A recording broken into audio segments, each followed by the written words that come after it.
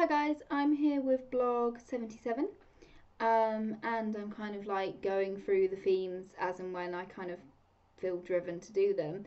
You'll know that they're kind of, my blogs are very just naturalistic about what I feel like talking about on the day. And I know I've been doing a lot of quite heavy, serious subjects, so I'm kind of like picking up on other things. Um, and swinging across from all sorts.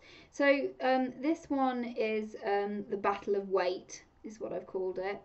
Um, and I'm going to be talking about a subject that I think is a huge thorn in the sides of all of us, uh, guys too, but especially girls and especially young girls because we have kind of that added peer pressure and all around us kind of society and social media just drives us to feel like we need to look and be a certain way. And one of the problems with that is obviously weight is always coming up. You shouldn't be too thin, you shouldn't be too chubby, blah, blah, blah, blah, blah. Um, and so what ends up happening for a lot of us unless you're like really mentally strong is you start to question yourself and get anxious or oh, should i be looking like that? Should i be doing that? And that's when problems start to form girls start getting eating disorders you start starving yourself or eating binge eating because you're miserable and being bullied. Um, and basically i think weight is a problem universally for pretty much everyone. If you are one of these, occasionally you'll get a person who will breeze through life that will have a really fast uh, metabolism and have no problems with weight. Uh, they're amazing. I'm very jealous of them, um, and good for them. Um, unfortunately, for the vast majority of us, that isn't the case, um, and it is a constant uh, thorn in the side um, of the posterior, to put it politely. Um, so yeah, battle of weight. Um, so again, you know, I'm talking like I always do, kind of from my own experience, but also kind of in a more wider because I feel like this will definitely, um, you know, be responsive responsive to a lot of people because I think most of us have this issue. Um, you know, there'll be some time uh, in our life at some point when we have issues with weight. Um, now, like I said, you know, some of us manage to avoid it. It depends on so many things. The problems with our weight, genetics life factors, how uh, physically, you know, how much exercise we do, what we eat, do we smoke? Yeah, there's a million trillion things that affect our weight. And I'm not here to sit and do like a boring, like, um, video like you get from a medical professional about what you should and shouldn't do to maintain weight because we know all that stuff already. We see all the time on the TV, um, and that's not what I'm interested in. What I'm talking about here is um, so, from my point of view, being someone who is chronically ill, weight it becomes a, a bit of a um, eight-headed monster. It's quite a different thing. Um, so i thing with girls i can't talk so much for boys because i don't have the obviously I'm not a boy, I don't have the experience or the knowledge of it. And like I've said before, if I don't have experience or knowledge of a particular subject, I'm not going to cover it. I'm not going to sit here and pretend to know about it. Um, certainly from a girl's point of view, uh, when you hit your periods and you're going through those nightmare years, and you're hitting your hormones, for most girls, you kind of get bit podgy, spread out. So I was actually really, really skinny and actually slightly undernourished looking until probably the age of about eight. And then from eight, I properly spread out and, and got what I call podgy. I don't call it fat, I call it podgy because it's not quite what I deem to be fat. And I know a lot of people get upset with certain terms and whatnot, but you know, a, a word is check the definition if a certain word is fine. Um, and for me, you know, the podginess was coming because I was spreading because of my hormones. There was absolutely nothing I could do about it. And I think that's one of the worst time in your life as a girl because you want to look good, you're aware of peers, you've got pressure on you, um, and yet there's not a lot you can do if you're spreading because you're hitting your hormones. And you know, I suppose it wasn't so bad because I could see a lot of my other friends were going through the same thing. Some of them weren't. Some of them stayed the same kind of size that they've always been. Um, but it was a really tricky time to kind of navigate and figure it all out. Um, and then I kind of stayed quite podgy through my all teens because obviously, so for me, um, because I had PCOS, and obviously I didn't know at the time because I wasn't diagnosed until my 20s with PCOS, and PCOS is one of the worst nightmare conditions when it comes to weight. Um, because what a lot of people don't realize is that any condition that is interfering with hormones right across your body is going to interfere with your weight. Um, and there's I mean, I'm obviously talking about from the aspect of the conditions I have and know about, but there's a huge wide variety. So when I talk about the kind of the general range of chronic and invisible illnesses, so for example, take Selena Gomez, she has lupus. Um, she, bless her, had to have um, one of her kidneys removed because of complications of lupus a number of years ago. And recently in the news, loads of people have been bad mouthing her because of how chunky she looks, which I think is absolutely disgusting because she's having to be on medication to control certain symptoms. And unfortunately, those medications make her swell. That includes something called looking moon faced, um, which I've had in the past. It comes and goes, which is when you look very round faced um, because of the hormone mix up and the medicines and stuff like that. Um, and it's just cruel and nasty and typical, in my opinion, of our society and kind of the toxic environment that we've formed on social media that they would have a go at her like that. But what I love about Selena Gomez is that she fights back and she did an interview and she explained about what how serious and what happened to her and that she would rather be on medication and look a bit podgy um, than um, be unwell and look thinner for the sake of fans and people saying that oh you look lovely and thin. Um, and it's this balance and it's really difficult because things really get inside your head. Um, but I totally get it and good for her like seriously good on her um, for standing up for that and setting people straight because there are just so many ignorant people out there who think they have the right to comment on everything online um, especially when it comes to a person's weight. And see I'm really when it comes to a person's weight I never make a comment about anyone else other than myself because I don't know, and you shouldn't either, because you don't know what that person is going through. You don't know why they. So you know, like when you get see someone really big, and in your head you might think, oh God, bloody hell, they need to lose some weight. Um, but it's none of your business, first of all, and second of all, you don't know the reason why they're like that. Um, and they could have a really nasty, complicated, depressing life going on with all sorts of different health problems, like I've had recently. Um, and trust me, learning to balance your weight is a fine art, and it's really tricky. And sometimes you get it right, and sometimes you don't. Um, so, so yeah, so you know, just again, like I've said before, it's about respect and pausing, and just don't come to a conclusion. You know, like when you see someone seriously skinny, you're like, oh my god, they must have an eating disorder. You know, not your life, not your concern, none of your business. Um, and yeah, I think sometimes we just in our society get too nosy. Um, you know, we can choose to share what we want to share, but there's also a personal limit and privacy that I, I feel should be respected on that. Um, but yeah, so so sorry, I went off piece with the Selena Selena Gomez thing. Um, but yeah, so definitely, so teens really hard for girls when you're getting your period and you swat you ballooned out a little bit and it's a bit hard. Um, and then kind of for some girls, you can kind of get back after your teens to where you were before. Um, other girls struggle. Um, obviously, hormones gives you cravings, especially for sugar, which is a nightmare. Now with my PCOS, PCOS, as I said, is an absolute fucking nightmare with weight. Um, unless you're kind of trying to control it, so you're on a pill or something that helps to control it, it does constantly. It's like a little voice in your head: eat sugar, eat sugar, eat sugar. I need sugar. And um, because I remember through those years, I mean, I'm still tired all the time. It's part of what I have. I'm always fatigued. But those years in particular, I was so drained that if I didn't eat sugar regularly, I I completely I had I couldn't I'd burn out. You know I couldn't go to school. I couldn't do anything. So I was snacking on shit a lot of the time. Um, so I was a lot chunkier than I should have been. Um, and I was aware of that, but at the time, because I hadn't been diagnosed and I was getting no support from doctors, and I was in too much pain and I was bleeding all the time, so I couldn't be physically active.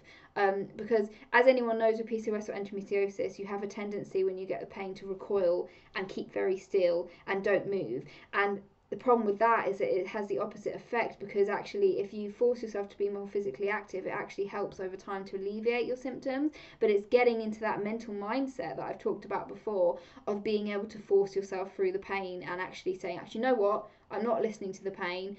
I need to go for a walk. I need to move. I need to get up off this sofa. Um, otherwise you're just going to get fat you're going to get chunkier and chunkier and you're going to make the problem a whole heap worse. Um, and that's just the truth of it now, luckily for me, my mum is a very hard character. I've always been a very hard character, and because of what I had to go through and still go through, I have become very mentally resilient. So it doesn't mean I don't have really bad days. You'll know that because in some of my past blogs, I've been crying here. Um, I have really shit days, times when I feel really low, times when I feel like you know I can't take it anymore. Everyone has that, and that's acceptable, and it's okay to realize and recognize that. But it's having that underlying grit of knowing no, I will get up and I will work out. I will get up and do that, even if you know I'm sore or I've been bleeding or whatever else. Now, for me, the changing point was obviously when I got on to treatment finally, and therefore I wasn't having periods because I just couldn't keep going on having periods because they were making me so ill and so low in iron that I was just sick. I was critically sick. It was not working. And it was only once I actually stopped doing that really that I could start getting more physical again and outsidey like I wanted to be. Um, and therefore I could start trying to gain control back a little bit on my weight. Um, and I realised I was eating far too much crap and that kind of had to change and all of that. And then obviously very shortly after realizing that, I was hit with the swine flu. Um, and then obviously that was like a huge shift in everything because suddenly I'd been critically ill, I'd almost died, and I was losing weight drastically. And I went from being quite chubby to actually, you could see all my ribs and I looked slim. And I didn't mind that. I actually loved the fact that I looked slim. What I didn't obviously like was the fact that I was starving hungry, that I was verging on having to be given a feeding tube, that I was having to get water for a drip, that I was hallucinating about food in the hospital because I could eat so little. Um, it wasn't pleasant. So, you know, when I see people who have eating disorders, I really feel for them because although I've not had an eating disorder, I know exactly what it feels like to be starving and yet unable to kind of cope with the eating mechanism. Um, and it's really disruptive mentally but also physically and it just makes you feel very very lost um, and, and you just don't know how to feel about anything. Um, so yeah so it wasn't good. So my weight was really drastically swinging and then i'd obviously lost a lot of weight. And i think at my lowest point i was about 44 43 and a half kilograms. I don't know what that is in stone so you'd have to work that out. But it was far under what someone from my height and size should have been now, obviously, that passed, symptoms improved, I was able to gain weight again, the sickness improved. Obviously, as you'll know if you've been following my blogs, I still have chronic health problems caused by the swine flu that I'm probably going to have lifelong because they're still with me at the age of 28 and haven't gone. Um, and someone actually said to me today, "Oh, actually, you're kind of lucky because the daily vomiting that you get, or every other day, is actually probably controlling your weight." And I was thinking that is such a silly comment to make because I'm not lucky. I would rather be able to eat food when I want to eat it and enjoy it without being worried about being sick straight after a meal. I can't tell you how miserable that is, especially when you're a foodie and you want to enjoy stuff, you just lose the interest in it. Um, so, no, that is not the case. Um, but actually, for me, basically, probably maybe six, five years ago, I actually just said, actually, I'm going to take charge of this shit um, because you know I was doing modeling, trying to get into acting, still am trying to get into acting, and I realized, look, I have got to get a grasp on my weight, not for the purposes of social media and for people to make comments about how thin or how chunky I look, but for me personally to feel like I'm in control, to feel like I'm strong, to be happy with how I look. Um, now I knew with my PCOS that it was, this was always going to be a struggle, and it will be a struggle for the rest of my life. Um, and you know, if I ever try to be pregnant, I know the likelihood is that I'll swell and get massive, and then after the pregnancy, I'll have to spend ages and ages working on getting back to my original shape. Um, and that's a lot harder when you have PCOS. And I think a lot of people that don't have the condition just don't realize actually what a nightmare it is when you have this condition. There are other conditions as well, this is similar, but obviously I'm using this as an example because this is what I have to live with daily. Um, and so yeah, so I kind of took charge of the amount that I was eating and getting really strict with myself so that I was eating what I knew I needed nutritionally um, and also allowing myself a treat because I've always been, and I'm a firm believer, and I stick with this. You shouldn't deny yourself a treat um, because what happens if you deny yourself a treat is that over time um, you just build it builds up and up, and then you end up having a day when you binge loads of crap, and that's really unhealthy. Um, and I went through that phase, and I learned about it and what I should and shouldn't do. Um, but whether it's if you just allow yourself, you know, if I say to myself, okay, one sweet thing a day, that equals one slice of cake or one bar of chocolate, but that is it. That is your treat eat it slowly, savor it, and enjoy it, and that's fine. Um, now, what's interesting is when I see people now from school, a lot of people are like, wow, you look so much thinner, and other people don't really notice. And people that I meet sometimes are like, oh, no, you look quite normal. Other people are like, oh, you actually you look chunky. Now, I would describe myself right now as being curvy but not chunky. So, if you, my actual, if we're going from a medical point of view, my weight is um, 62 kilograms, which for someone of my height is bang on perfect. It's not underweight, it's not overweight, it's in that like healthy green zone. So if anyone says to me, and I've had people in the industry for modeling say, oh, you know you're you're chunky or podgy i always correct them and say actually i'm not i'm bang on it's just you that wants someone like way way thinner i am the right size that i should be this is how i should look um, but there's a very fine line, and like I said with PCOS, it's really difficult because you go through phases where your hormones take over and there's nothing you can do about it, and you will find that you swell a bit or bloat a bit and you look that little bit chunkier, and then you'll find you go through a phase when you look slimmer, and it is horrible because it takes the control away from you, but it's the condition. I wish it wasn't there, but it is. Um, but at least the one thing I can do to make myself feel in control, that that just that much bit more in control is by kind of keeping in charge of what I'm eating and exercise. Exercise is key. I know people jabber on about it all the time, um, but for me, it's weird because I now think I've got into a situation that might potentially become a bit of a problem um, because I set myself so I was working myself up. I'd started with two workouts a week, then I went to three workouts a week to four. So where I am now at is that I try to do four workouts a week, around 40 to 50 minutes per workout. Um, so, you know, that means I get well within my quota for what a healthy adult should have. And I generally believe that that, with a combination of doing planks and um, strength work on my abs, means that actually, you, you know, I'm stressed at the moment, but I'm actually quite toned on my arms and my stomach. And that's just down to hard work and tenacity. And I'm really proud of that. Um, that I've been able to do that despite being really ill uh, with lots of chronic problems, and a lot of people just wouldn't have um, you know the stubbornness to be able to do that they would give in after a while. It's getting that mental grit to do that. Now like i said there are some days when i can't when i'm too unwell or i've not slept at all or i'm really depressed and i don't feel like it. And that's acceptable. There's no point beating yourself up about that. But as long as i then get swing back into a routine as fast as i can then that's okay. But on the whole, I always try to do four workouts a week. Even when I'm not feeling well, I still push myself to do four unless I'm really unwell or I've got a virus or, you know, I just really can't. Um, because for me now, doing those four workouts a week makes me feel slightly more in control. It's like a structure, you know, it's a plan, it's a coping mechanism.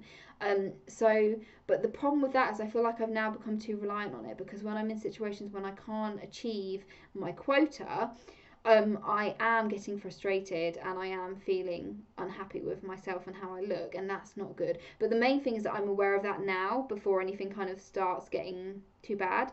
Um, what I don't want to happen is become one of those crazy people that ends up like working out all the time, and that's really unhealthy, and then you get faint and ill, um, and all of that. Um, but I'm pretty certain that I have the mindset to be able to avoid that. Um, but what I'm trying to say here is that you know it is i know people jabber on about it but it is really important. You cannot replace exercise. I know a lot of people i know all sorts of people some who are into it some who aren't some who just don't try hard enough. But you know we are human beings. We were designed as hunters to run around um, and hunt animals. You need to be active. If you don't use your body it's not good for any part of your body. Even if you don't have chronic health conditions or pcos you should still be active. Um, but obviously from my point of view i'm talking about as a chronically ill person, it is that much more important to try to keep reins on your weight. Um, now, especially the consequences with gynae conditions like PCOS and endometriosis is that um, you'll actually find that the chunkier you are, especially if you are overweight, it causes all sorts of problems with your menstruation and your periods. Um, and you'll often hear doctors say, you know, if they get a girl in who's very overweight and she's been talking about period problems, they'll say you need to lose weight um, because it does impact on your fertility and when you ovulate and stuff like that. Um, that's also why they often say to girls who are trying to get pregnant, always try to lose weight. Um, it's exactly the same theory, but that theory is also the same for PCOS and endometriosis because these conditions are so closely entwined with your weight um, and I have absolutely seen a correlation that when I've been chunkier, the symptoms have been worse. And when I've been managing to maintain the slimmer side, the symptoms are still there, but they're improved. And that's why for a number of years now I've forced myself to maintain that. Um, and you know, I cannot stress enough how hard that is because there are some days where my hormones um, because PCOS is very closely linked with insulin, and that's why diabetes is a risk factor with PCOS. And that's always at the back of my mind, which is really anxious and worrying me. Um, so when I get the days when it's like sugar craving, sugar, you need sugar, you need sugar, it's like trying to resist it, but at the same time, sometimes you just you can't resist it. It's like it's not even just a voice in your head. It's like your whole body like I really need sugar. You need to give it to me. And it's so frustrating because in my head I don't want it, but my body is asking for it. Um, so you know, if you're a girl out there PCOS and you weren't aware of this and you're getting sugar cravings all the time, don't worry. It is normal, but you do need to try to get a rein of it. Otherwise, you're at risk of spiraling out of control with your weight, which is going to make your symptoms in turn worse. Um, and then obviously the consequence of that, more serious implications of getting diabetes and other things long term. Um, and I just think also with the whole weight thing, it's like such a huge scary monster thing. But if you can get some kind of structure and coping mechanism with it, and you can stay in that realm, um, it's a lot easier to maintain rather than ever letting it kind of go out of the cage, so to speak. Um, trying to suppress it and just keep it in control. Um, so for me, so yeah, for me and my body shape. So I was always kind of brought up to love yourself. Um, and on the whole, I've always been fairly happy with how I've looked, obviously, because I'm confident enough to do modelling and acting. But that doesn't mean that I don't have days when, you know, there are things about me that I don't like how I look that I would love to change. I think most girls have that, which isn't helped by pressure from society. I really don't like my chin. That what really bugs me is even though I've lost weight and seem, feel, and look slimmer everywhere else, my chin looks really chunky. So, like when I'm doing self tapes and auditions, I'm always doing this because I don't want to do this because it gives me a double chin and I hate it. Um, but there's absolutely nothing I can do about it because I've tried. Um, and for whatever reason, maybe because of the medication that I'm on, my PCOS, this stays quite round. Um, so, but then I'm kind of reminding myself, well, look, I know I'm pretty, I know I've got talent. Um, so I just have to get over this thing about my chin um, and looking tired under my eyes and, and, and stuff like that because it, you know you would be an amazing person if you thought you were perfect and had no issues. I don't think I've ever met anyone who is happy with every aspect of their body or how they look. Um, but I think there's kind of a certain level of acceptance that you need to get with that.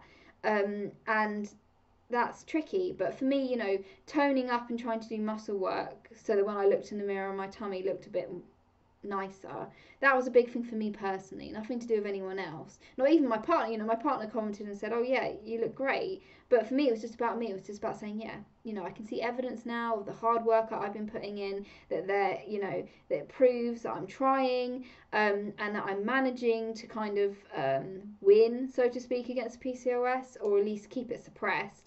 But kind of the problem with that is what is at the back of my mind is when I'm having good runs is I always know that at some point my PCOS is going to come up and bite my ass and kind of pull me back down and make it really hard and I think that's kind of the battle of PCOS. I would kind of describe it as that is one of the biggest battles. Is always fighting with it with your weight and what you're eating and trying to get the right balance.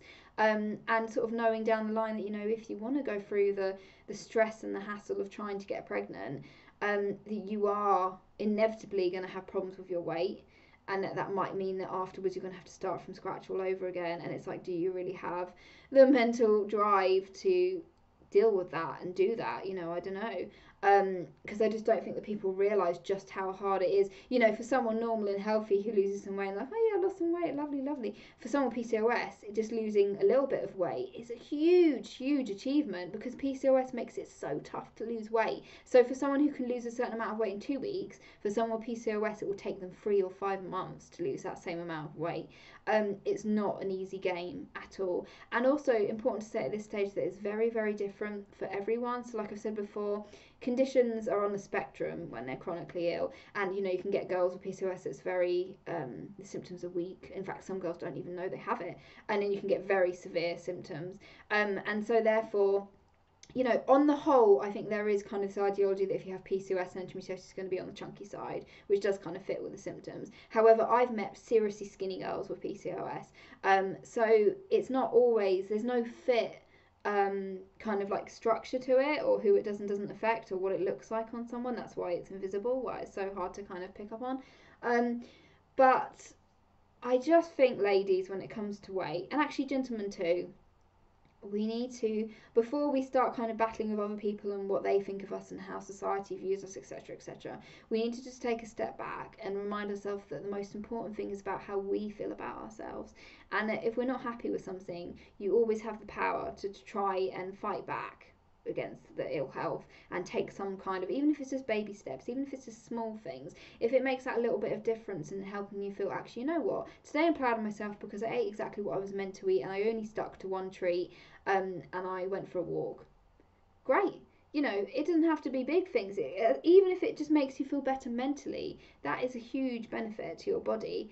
Um, and yeah, I suppose you know it's all about becoming mentally uh, driven and kind of having that drive so that you don't burn out. In fact, this goes out back a little bit to when I was talking about Duke Edinburgh Award and how you kind of get that grit and determination and inward inspiration to just keep going. Unfortunately, when you have conditions like PCOS, you have no option but to do that because you know if I suddenly just stop like that controlling what I'm eating and how much I'm eating and what sugary stuff I'm eating. And if I suddenly stop working out, within a matter of weeks, I'm going to be gaining weight um, and be way, way podgier, and then I'm going to be miserable and unhappy with how I look. And then that's when things can become dangerous because you start thinking about starving yourself or other things which can turn to eating disorders. So it's like all sorts of like other stuff. So to avoid that, you have to keep a really, really tight rein on yourself. Um, and don't underestimate it. That is not an easy feat. I'm not going to sit here like you know you get a lot of people online who are like, oh yeah, you just vegetables and you get this nutrition and you work out. Um, yeah, it don't work that way. Um, so um, we're all human beings. Um, and obviously, with the stress on top of life and whatever's going on, it can sometimes just be impossible to do that. So, you know, if my partner once a week gets a takeaway, yeah, I will treat myself to the takeaway because I don't want to be so harsh on myself that I'm taking away all the small enjoyments that actually make life bearable. Because when you're chronically ill, everything is already so much harder. Um, and you know, if I say I'm not going to eat any cake, I'm not going to bake anything, I'm not going to have any chips now and again, why? It's not my fault that I'm ill. That's not fair. I'm not going to be punishing myself. And I see that all the time that people's mindset is like they feel like they need to punish themselves in order to get, get where they want to be. Um, and I've tried that in the past and it doesn't work. It just makes the problems even more complicated and difficult to sort. Um, you, you just have to keep experimenting and trying until you find something that actually um, works for you a little bit better. Um, and it can take years. It took me years. I'm still kind of figuring it out. I feel like I found a good middle ground, but like I said, for me, there's always that constant little voice, that little anxious at the back about, oh, well, what happens when my PCOS decides to turn um, and change because that's not fair because I've worked really hard to be looking like this and I'm happy with how I look now and I don't want that to change again. But also for me, as a very personal journey, you'll know that I'm on, as I've discussed before, a depot injection which stops me from getting periods. But at some point down the line, if that starts affecting my bone density, I'm going to have to come off it. And that for me is such a scary prospect, but especially when it comes to my weight, because that injection is stopping me from bleeding, which means that I'm able to be very physically active. Now, if I have to go back to bleeding, I'm just going to be an ill, iron deficient girl again, and I'm going to gain weight because I'm not going to be able to move around much. Um, so it's it's scary. Um, living with chronic health, there is always what if what happens when that happens what when i have to come off that medication do i have something new to go into that?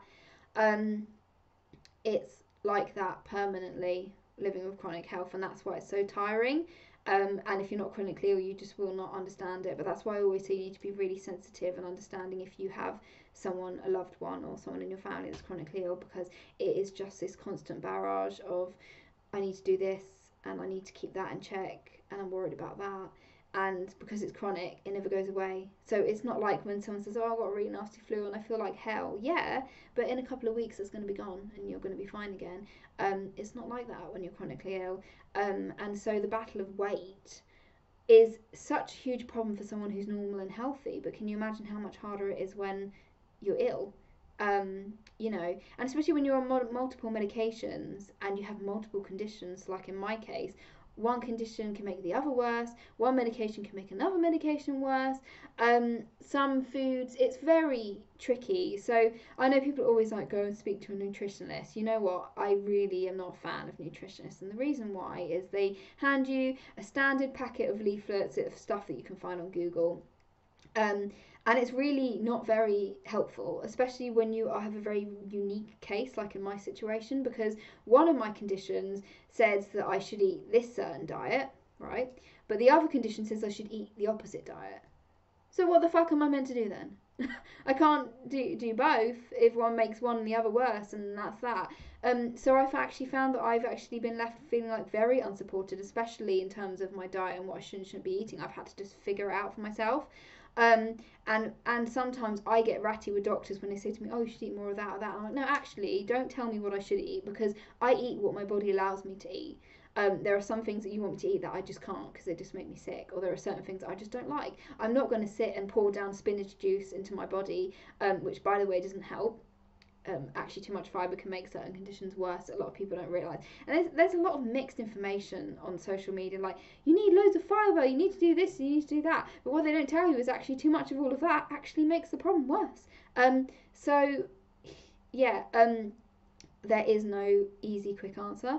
Um, I would love to sit here and say to you, right, this is what you should do to help keep your weight in check, um, especially if you're chronically ill and you have this, that, and that. Um, but I can't because there is no science to it. Um, it is just a case of learning, trial and error, um, and see what happens.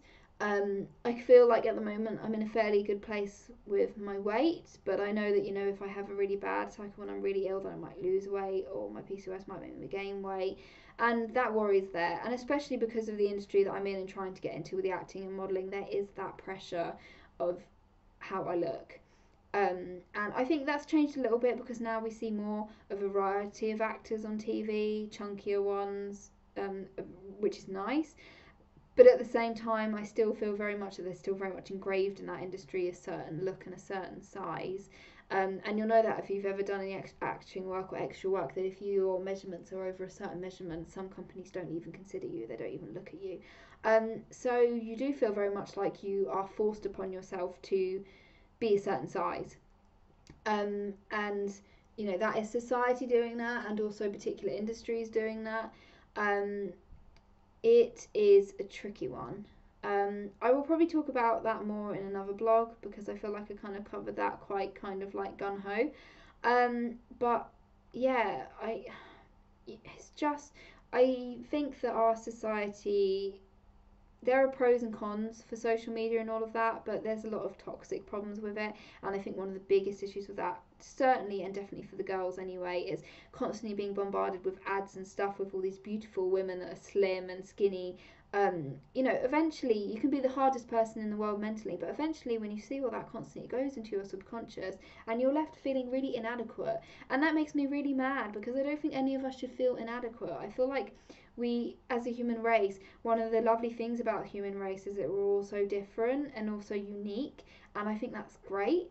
And i want to see that reflected more in our actors and the people on tv there should be a nice big variety in race and color and you know size and it annoys me that, that there's like you have to be this way you have to look this way. Um, and yeah it is upsetting and it does get to you. Um, but like I said, there are things that you can do to try to keep it in check. For me, it was kind of the exercise, forcing myself to do it and reducing myself to one treat a day. Um, and like I said, for the vast majority of the days, I manage it. But maybe one day a week, you know, I break the rule um, because I've had a really shit day. And that's okay. Like I said, I think acceptance is a really important thing. You need to learn when to just say to yourself, okay, I didn't do well today, but I'm just going to forget about it and move on rather than like you know, bottle it all up, get angry with yourself, and then binge eat. It don't help. Um, yeah. Okay, I'm gonna stop there.